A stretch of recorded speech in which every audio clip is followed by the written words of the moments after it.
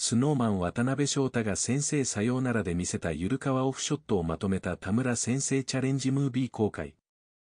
ルダハートやジトリウィンク菅健太ら共演者との仲良しポーズも日本テレビ系シンドラ公式インスタグラムが3月25日に最終回を迎えたドラマ先生さようならで主役の渡辺翔太スノーマンが演じた高校の美術教師田優拓郎の田村先生チャレンジをまとめた動画を公開した。渡辺と共演者がチャーミングなポーズを決めるオフショットが楽しめた田村先生チャレンジ。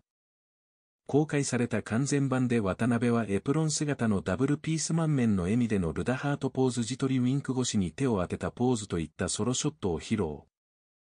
さらに同僚の物理教師稲毛哲也役の片桐仁とのガッツポーズ用順染地玉俊役の菅健太と居酒屋でピースしたり二人でハートを作るポーズ国語科教師内藤由美子役の北かなとのツーショット生徒の城島弥生役林目ありとほっぺに指を当てたポーズなどを見ることができる。